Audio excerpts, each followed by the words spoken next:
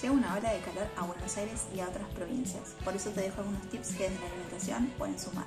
El más importante, andar tomando agua a lo largo del día. Por más que no sientas sed, no esperes a tener sed para tomar agua. A ese agua le puedes agregar gotitas de jugo de limón exprimido y una pizca de sal para ayudar a reponer electrolitos que también se pierden en el benzudor. Si tenés niños o ancianos a tu cargo, también presta especial atención a ellos. Deben prestar atención embarazadas y mujeres lactantes. Por más que te den muchas, muchas ganas de tomar una cerveza bien fría, no es la solución. Evita las bebidas alcohólicas porque justamente te ayudan a deshidratarte. También evita otro tipo de bebidas como gaseosas azucaradas. Ten cuidado con otras bebidas diuréticas como algunos tés de yuyos, el mate, el café. No quiere decir que no lo tomes, pero acuérdate de también tomar agua.